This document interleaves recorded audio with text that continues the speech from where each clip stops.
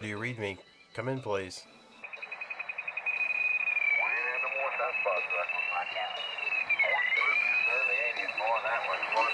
You can hear me, I'm going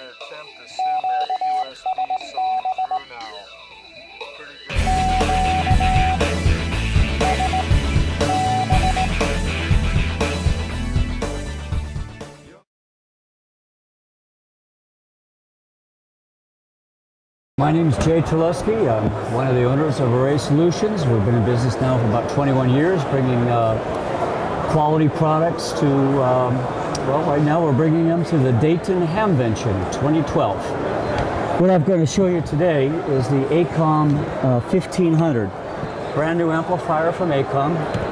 Um, do you see the dials? Yeah.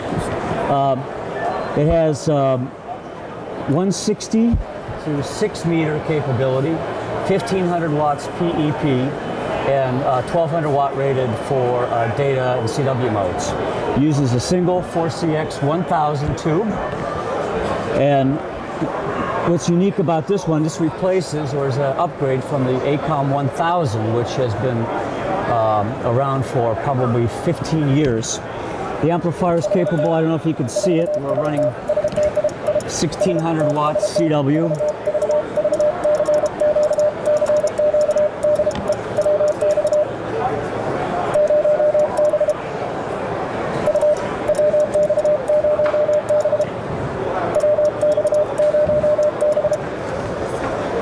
A very easy to tune display. You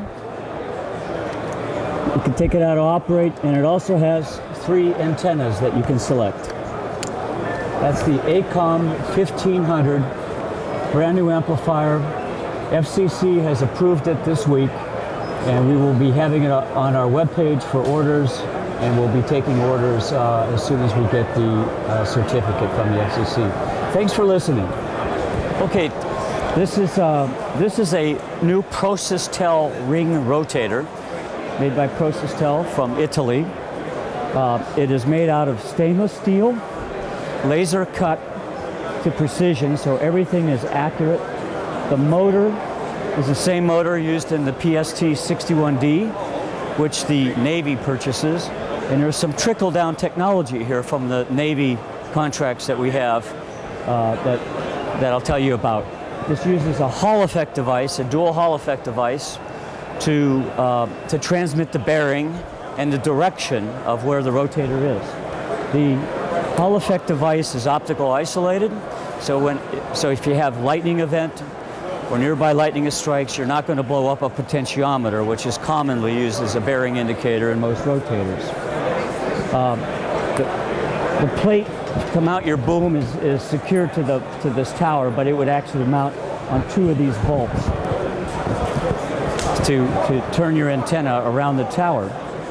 The uh, controller is unique in other controllers in that this, this rotator self-calibrates.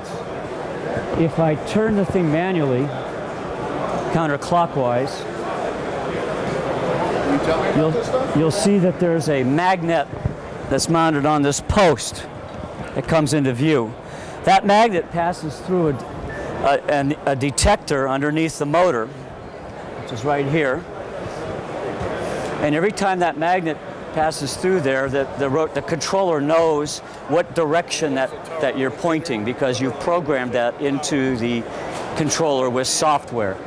To set this rotator up as a piece of cake, and that you, you can mount it onto the tower very simply by mounting the, uh, the uh, plates on the tower legs first, taking a level and level them, then bringing up the rings, which are split one, one half at a time, set the rings onto the plates that hold the ring to the plate, and then bring up the second ring, set it to its mounting plate, and bolt the uh, splices together on both sides of the rotator. The last thing you do is you bring up the motor and bolt it into place. Uh, there is no adjustment on the motor since this is precision made. There's no slop, as you can see in, in the construction of this. So the gears are always engaged.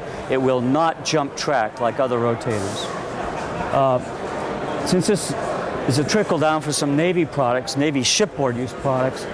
Uh, the sealing of this motor and, the, and its gearboxes uh, meet almost mil spec.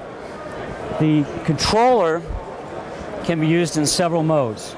You can just manually turn it clockwise or counterclockwise. You have the ability to set it up in software to limit its travel from 500 degrees to 1 degree, anything in between. So 360 degrees would be a normal way you would set this up. It also has a preset, so you can just give it a bearing and you let go of the controller and it will now start turning. In this mode, it has a soft start and a soft stop mode, which means that it'll slowly bring the load up to speed and then slowly bring it back down to speed. That's also programmable with the software, so you can tell it how many degrees you want it to ramp up and ramp down and how fast you want it to ramp up and ramp down. So that's the new ring rotator from Prosistel uh, that is sold by Array Solutions.